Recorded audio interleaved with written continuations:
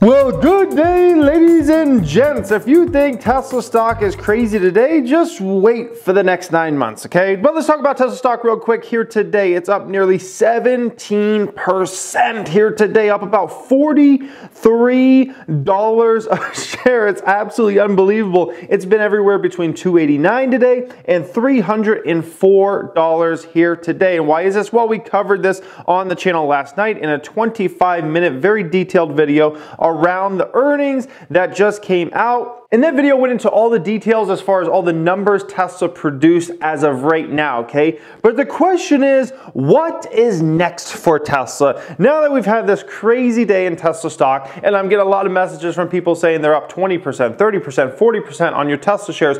Congrats, guys. Um, for me personally, it doesn't matter that much. I'm in this for the long haul. Regardless if the stock was up 17% or down 17%, it made no difference to me, okay? But there are five huge things that are going to happen with Tesla stock in the next nine months that I think is very important to look at, okay? And I think this is a video that is due because it's not just about the past with Tesla. If you're really investing in this company, it's all about the future. In the next nine months, there's five crazy things that are about to affect Tesla stock and Tesla the company in general. So hope you guys enjoy this video here today. Make sure you smash the thumbs up button and uh, share this video with your cousin Ray Ray. Alrighty guys, first thing that is to happen with Tesla stock over the next few months, and this actually already happened today, okay? This is already happening, is shorts are starting to cover. This is very, very important. So if you didn't know, Tesla's one of the most shorted stocks out there. If anybody, if you've been a uh, shareholder of Tesla for a while, you know this, okay? Because you've dealt with the shorts, the negativity around Tesla, and how it feels like the world can sometimes be against Tesla. It's like, why is this, okay?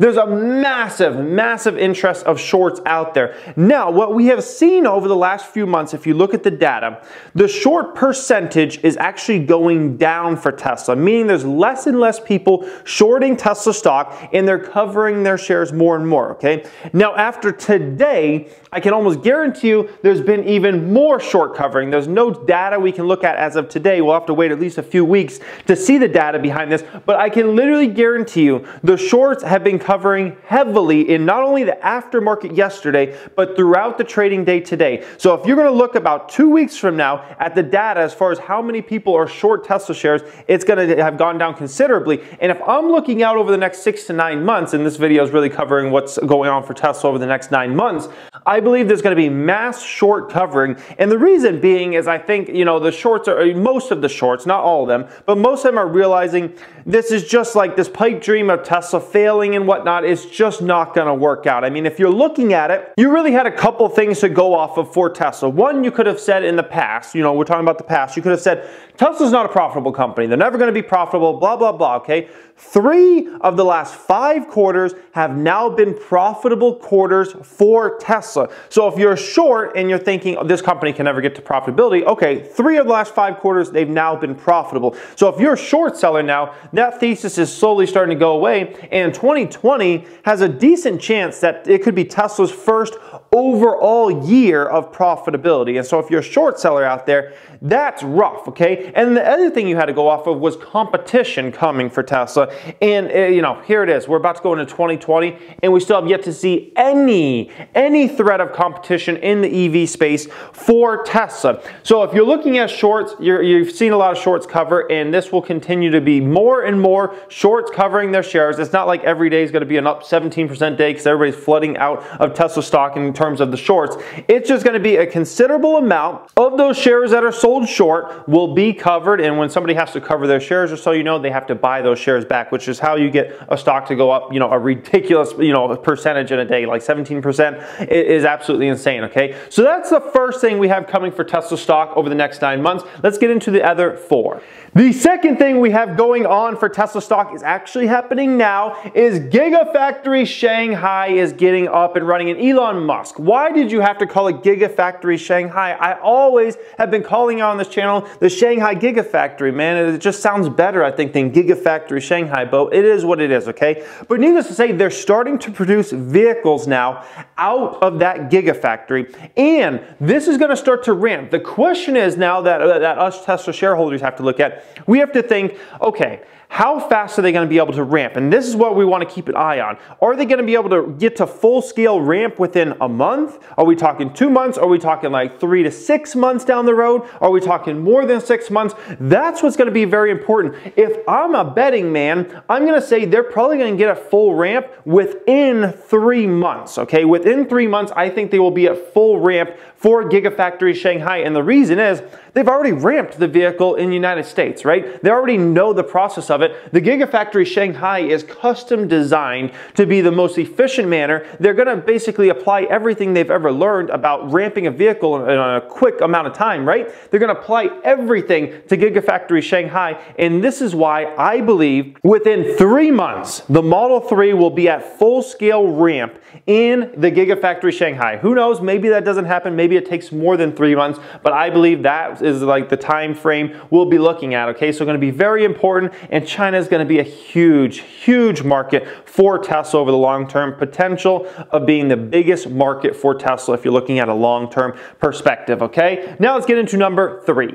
The third thing that is coming for Tesla stock over the next nine months is the European Gigafactory location will be announced. Okay, there was a very, very small section in the report yesterday that I think a lot of people missed that basically stated that they're in the final stages of approving a location for the European Gigafactory. And this is big, and they even mentioned in the report that they want to open that in 2021. I used to think like that was like a 2022 type play, maybe even 2023. They're talking about 2021, the Gigafactory will open, okay? So within the next nine months, we should hear where they're going to open that. There's a lot of talk about it could be in Germany, it could be in Eastern Europe somewhere. We don't know exactly where it will be as of yet. Um, if, I if I was a betting man, I would say somewhere in Germany, probably the European Gigafactory will be announced. But who knows? We'll have to see. But that is going to be great news for Tesla because then you're looking at a situation where they got the Fremont factory for the States, they have a Shanghai Gigafactory, right? And then at this point in time, they would have a European Gigafactory. That, that is phenomenal. And if you're looking at a long-term perspective, I can definitely see a day when Tesla has between 7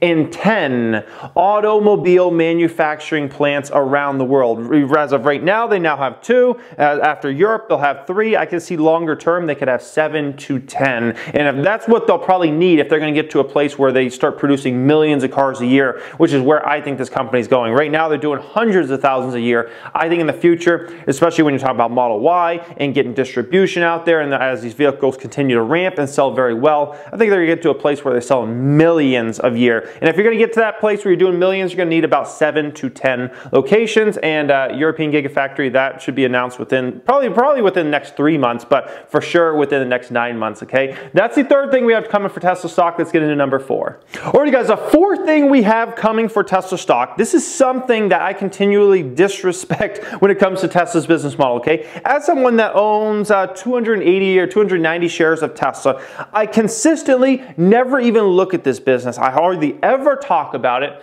but Elon Musk said in yesterday's conference call that he thinks this business could be as big as the automobile business long term. He says this could be maybe even bigger than the automobile business long term. He said that on the conference call yesterday, and that is in regards to the solar business. So the solar business, Tesla hasn't paid it any mind for basically the past two years, but they're actually starting to ramp up that business now. The reason why they couldn't pay any mind basically the last couple years, they needed all the cells possible to basically put into the Model 3 as that ramp. Now they have the capabilities where basically they can start to ramp their solar business back up. And uh, this is a business that is just, it's a, it's a wild card for Tesla. And it could just be the cherry on top on why this could become a massive, massive company in the future. My full bullish thesis, as you guys know, around Tesla really has to do with the fact that I believe they're going to sell millions of cars per year in the future. And I believe they're going to be the number one or number two player in autonomous taxi networks on a longer term basis. That's my main bullish thesis and that's why I think this is, could be a multi-thousand dollar stock in the future. The solar business, if that comes true, and Elon Musk is, is correct about this, and this business, it could be just as big as the automobile business long term, like that just, that totally changes where you could value Tesla in the future. Like that puts it on a whole other stratosphere, okay? But needless to say, we're gonna see a lot of ramping of the solar business over the coming months, the next, you know, two or three quarters at least, and then we'll see what happens once Model Y comes comes out. I don't know, maybe they'll, you know, tame things down a bit as far as the solar business goes. Um, but needless to say, that is very, very exciting. And, you know, uh, when I hear Elon Musk say something like he thinks it could be that big of a business, like from a Tesla shareholder perspective, that is definitely, definitely very exciting because for me, like, like why I'm in the stock has nothing to do with the solar business. That's just, that's just that cherry on top, man, on top of the whipped cream right there, okay? Let's get into number five. Alrighty guys, the last and fifth thing that's gonna happen for Tesla over the next nine months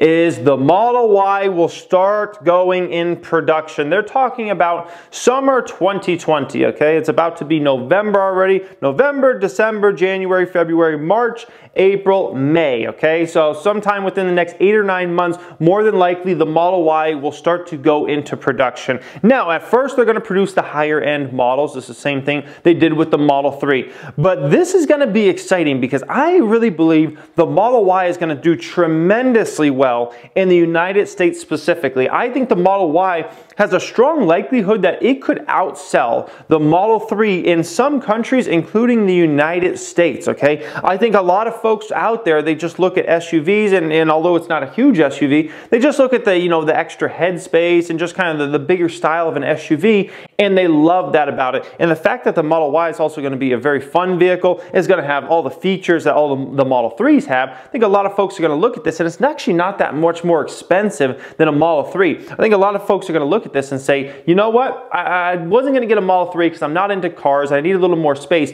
but the Model Y, I'm going to get that because keep in mind, if you've ever wanted a Tesla SUV, you've had one option throughout the, you know, Tesla's history essentially, and that is the Model X. The Model X is like pretty much a hundred thousand plus dollar vehicle. So for, you know, uh, 90 plus percent of people out there, it's completely unrealistic to get a Model X. So even if they want an electric SUV so bad, they're not getting a Model X. It's just completely unrealistic. But when you're talking about a $40,000, $50,000 price point, all of a sudden now you're starting to get to much more interesting levels and a lot of folks are gonna love this, okay? So the Model Y ramp is gonna be very, very exciting for Tesla. Now the wild card, there's one wild card here that could come out.